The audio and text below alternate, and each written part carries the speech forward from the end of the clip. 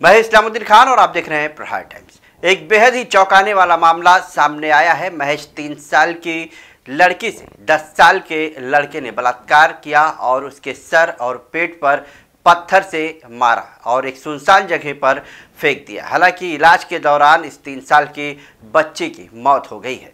रोंगटे खड़े कर देने वाली ये घटना कानपुर की है।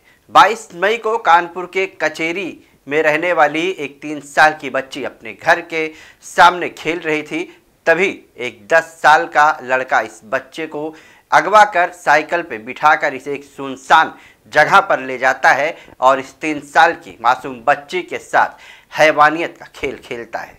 और इस बच्ची के पेट और सर पे पत्थर भी मारता है और इसे वहीं पर फेंक देता है।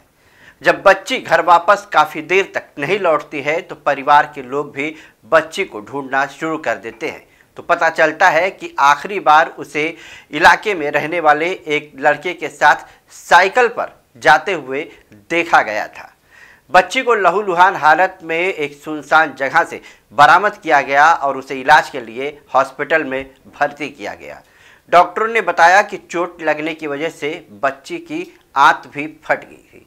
और इसका ऑपरेशन भी किया गया, मगर बच्ची के शरीर में इन्फेक्शन फैल चुका था और आखिरकार बच्चे की मौत हो गई।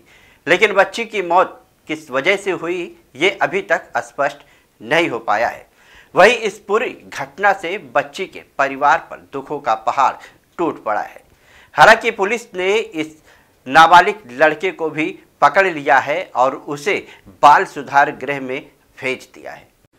देखिए, चकेरी थाने अंतर्गत एक प्रकरण हमारे संज्ञान में आया था, जिसमें एक तीन साल की बच्ची के साथ एक आठ साल के बच्चे द्वारा दुष्कर्म करने की सूचना आई थी।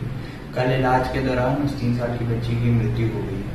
इसमें अवगत कराना है कि चकेरी थाने पर सुसंगत धाराओं में एफआईआर पंजीकृत की जा चुकी है और कानून विरोधी बालक को सुधार गृह में भेजा जा चुका है।